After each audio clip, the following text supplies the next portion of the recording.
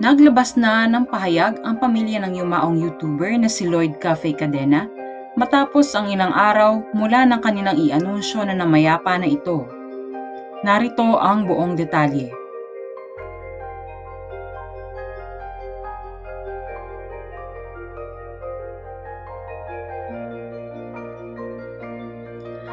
Nang lumabas ang balitang wala na ang sikat na YouTuber na si Lloyd Cafe Cadena, ay walang inilabas na konkretong pahayag ang pamilya nito patungkol sa sanhi ng pagkamatay ni Lloyd.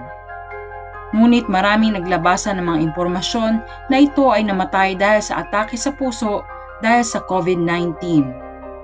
Ngunit linggo ng gabi sa pamamagitan ng isang post sa official Facebook account ni Lloyd, sinabi ng pamilya nito na pumanaw ito sa fatal heart attack due to COVID-19. Ayon sa kanilang pahayag, there are simply no words to express our heartfelt thanks for the prayers and sympathy you have extended to our family during this time of loss. Lloyd was confined in the hospital on September 1 due to high fever and dry cough. He was tested for COVID-19 on the same day, which the result came out positive on September 3. As soon as the result of his swab test came out, our family, including BNT, immediately isolated themselves. His vitals were okay and had no complaints. On September 4, 5 a.m., he was seen by the staff unresponsive and pale looking. As informed by the doctor, he suffered a heart attack while asleep. He was cremated yesterday and his remains is in our house in Cavite in the meantime.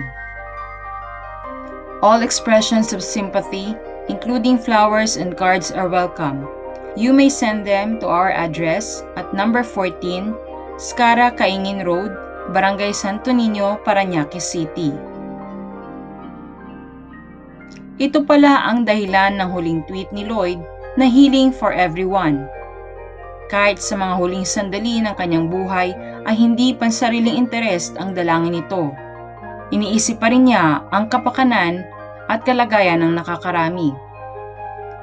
Para sa mga mahal niya sa buhay na naiwan, lubos po ang aming pakikiramay.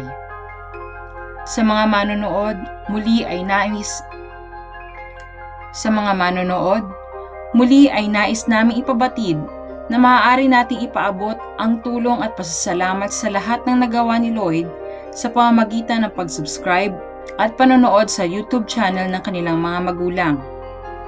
Hindi man tayo makapagbigay ng monetary donation, ay lubos na makakatulong para sa kanila ang simpleng pag-subscribe at panonood ng kanilang mga videos.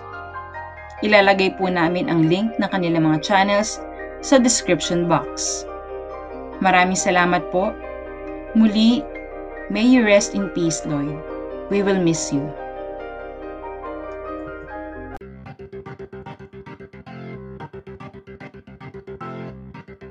Don't forget to subscribe and click the notification bell for more Showbiz Ganap global updates.